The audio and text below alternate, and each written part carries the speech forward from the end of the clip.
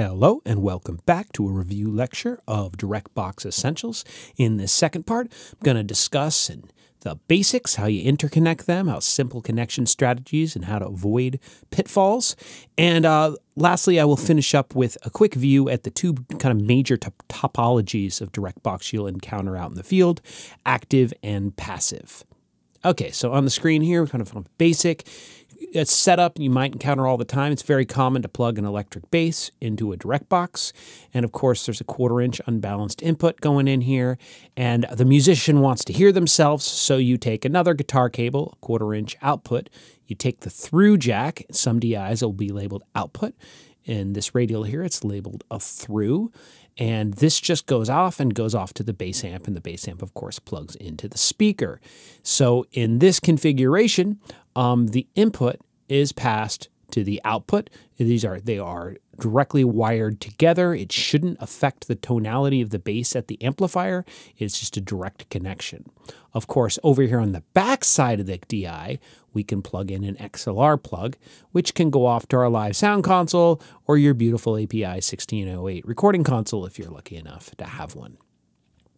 Now, this is something I've seen a few times on stage, always sorts of sort of baffles me, but it's usually an inexperienced stagehand, and they don't realize that this DI is actually monaural, right? It's a single channel DI, and they take the left and the right output of a keyboard and they plug it into the in jack and the through jack.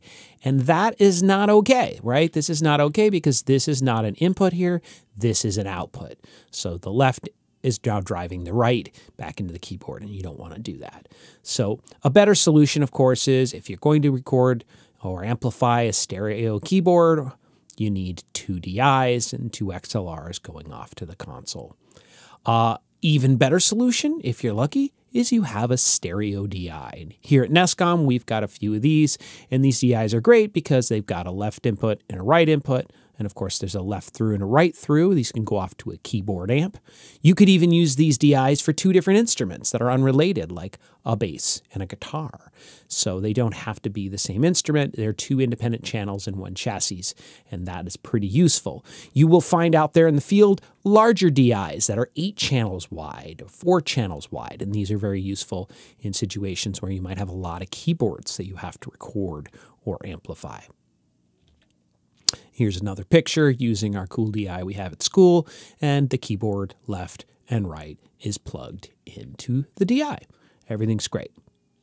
Okay, changing subjects. Two types of DIs you might encounter out in the world are passive and active. Passive is the simpler technology, and with a passive DI, the input is directly connected to the output, right? That's the through.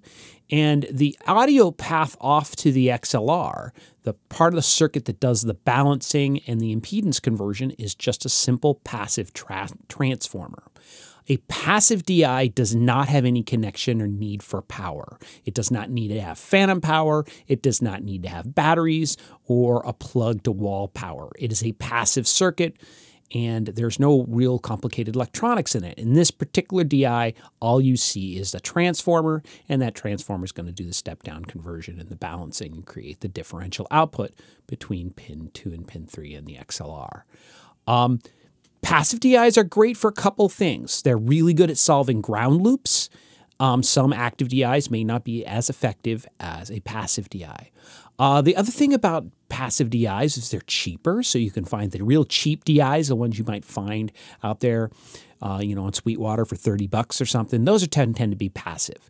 So I'm not saying passive DIs are cheaper because are, are, are, are, are lamer or not as good because there are really expensive passive DIs out there that might have classic transformers, might even have transformers pulled from some other device. Really expensive they may, and some of these DIs are known for a particular warm sound. They might impart a gentle harmonic distortion or something like that. So there certainly are expensive passive DIs out there, but there are also more cheaper passive DIs.